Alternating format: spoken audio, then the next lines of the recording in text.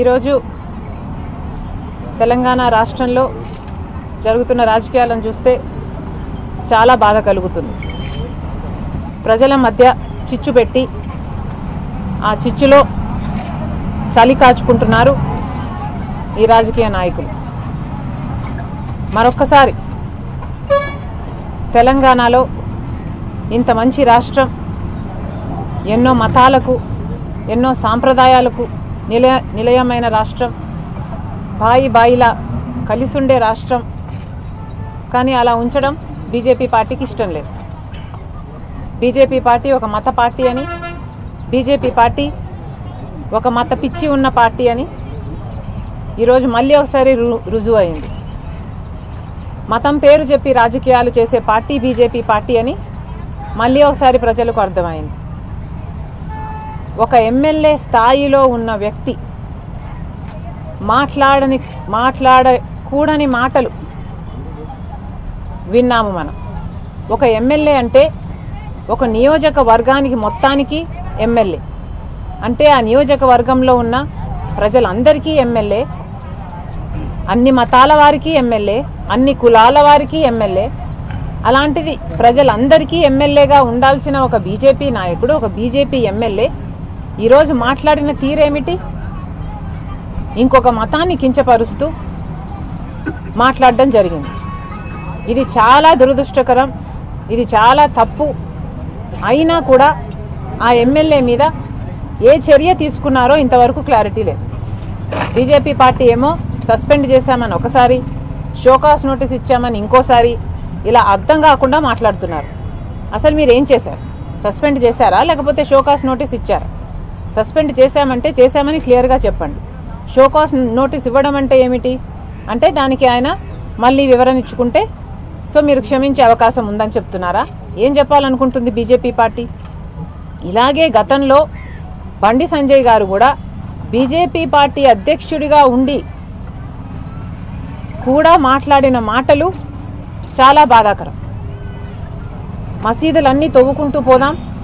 శవాలు వస్తే మీ శివలింగాలు వస్తే మాయి అన్న మాట మాట్లాడారు మరి అప్పుడు ఏం చేసింది బీజేపీ పార్టీ? అప్పుడు ఆయన సస్పెండ్ చేయాల్సి ఉండే కదా? కానీ చేయలే కదా? కనుకనే కదా రోజు రెచ్చగొట్టే మాటలు మాట్లాడుతున్నారు?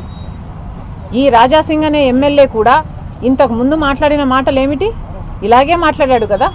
ఇంతకు ముందు కూడా బీజేపీకి ఓట్లు వేయకపోతే బుల్డోజర్ తీసుకొచ్చి మిమ్మల్ని నాశనం చేస్తామని బెదరగొట్టే మాటలు మాట్లాడాడు.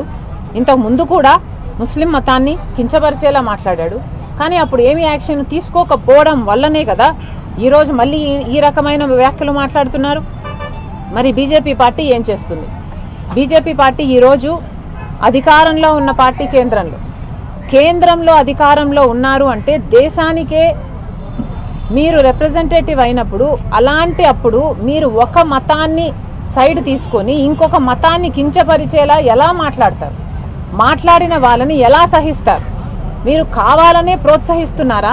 ప్రోత్సహి ప్రోత్సహిస్తున్నట్లే ఉంది కదా కామన్ పీపుల్కి మీ ఎమ్మెల్యేలే మాట్లాడుతున్నారు అంటే మీ ఎంపీలే మాట్లాడుతున్నారు అంటే అయినా మీరు ఏ యాక్షన్ తీసుకోరు అంటే ఇక మరి ఏమనుకోవాలి సామాన్య జనులు? ఈరోజు ఓల్డ్ సిటీలో జరుగుతున్నదేమిటి? అనవసరంగా శాంతిగా హాయిగా ఉన్న వాళ్ళ మధ్య చిచ్చు పెడుతున్నారు. ఆ మంటలో వీళ్ళు చలి కాచుకుంటున్నారు. ఇదేనా? బీజేపీకి చేతనైన రాజకీయం? మీకు అభివృద్ధి మీద మాట్లాడే దమ్ము లేదా? మీరు ఏం చేశారో మాట్లాడండి. ఈ ఎమ్మెల్యే అయినా బీజేపీ పార్టీ ఏం చేసిందో మాట్లాడచ్చు టీఆర్ఎస్ పార్టీ ఏం చేయలేదో మాట్లాడచ్చు మీ నియోజకవర్గంలో ఏ అవసరాలు ఉన్నాయో మాట్లాడచ్చు కానీ ఇవేవి అక్కరలేదు అన్నట్టు ఒక కమీడియన్ లాగా ఈరోజు కమీడియన్ పనే చేయాలనుకుంటే అదే చేసుకోండి. మీకు ఎమ్మెల్యే పదవి ఎందుకు? ఇంత ఇర్రెస్పాన్సిబుల్గా ఒక పార్టీ అది కూడా అధికారంలో ఉన్న పార్టీ బిహేవ్ చేయడం అది కూడా ఒక ఎమ్మెల్యే స్థాయిలో ఉన్న వ్యక్తి బిహేవ్ చేయడం చాలా దారుణం చాలా ఘోరం. ఇది క్షమించకూడని విషయం. గవర్నర్ కూడా దీన్ని చాలా సీరియస్గా తీసుకోవాలి. ఈ ఎమ్మెల్యేకి ఎమ్మెల్యేగా ఉండే అర్హత లేదు. ఈ ఎమ్మెల్యేని వెంటనే డిస్క్వాలిఫై చేయాలి.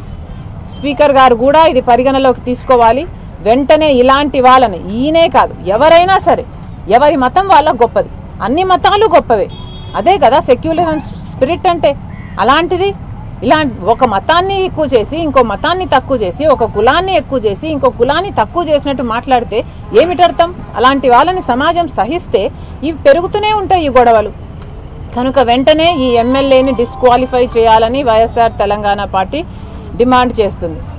ఇదివరకే కేసీఆర్ గారు ముస్లింలను భయంకరంగా మోసం చేశారు. రాజశేఖర్ రెడ్డి గారు ముస్లింలకి నాలుగు పర్సెంట్ రిజర్వేషన్ ఇచ్చి వాళ్ళ వాళ్ళల్లో ఎంతోమంది కటిక పేదరికంలో ఉన్నవారు అని తెలిసి వాళ్ళను అప్లిఫ్ట్ చేయడానికని ఉద్యోగ అవకాశాలు కల్పించారు చదువులో అవకాశాలు కల్పించారు. కానీ కేసీఆర్ గారు ఆ నాలుగు పర్సెంట్ రిజర్వేషన్ని పన్నెండు పర్సెంట్ రిజర్వేషన్ చేస్తానని చెప్పి ఇప్పటికీ ఫెయిలే అయ్యాడు.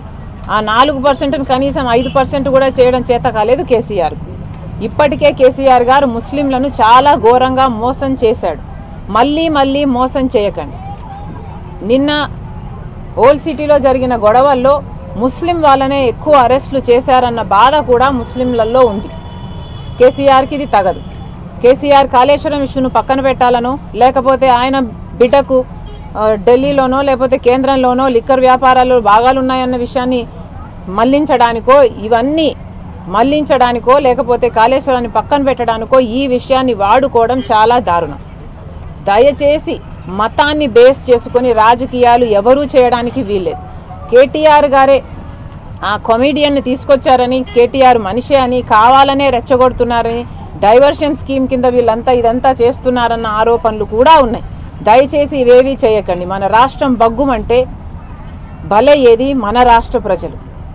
ఇవి న్యాయం కాదు ఇది ధర్మం కాదు. దయచేసి పాలకులు అన్న వాళ్ళు చాలా ఓపిగ్గా ఉండాలి.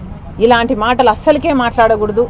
వైఎస్ఆర్ తెలంగాణ పార్టీ ప్రతి కులాన్ని ప్రతి మ- మతాన్ని మా సొంతం అనుకుంటున్నాం. వైఎస్ఆర్ గారు అలాగే చూశారు. వైఎస్ఆర్ తెలంగాణ పార్టీది కూడా ఇదే స్టాండ్.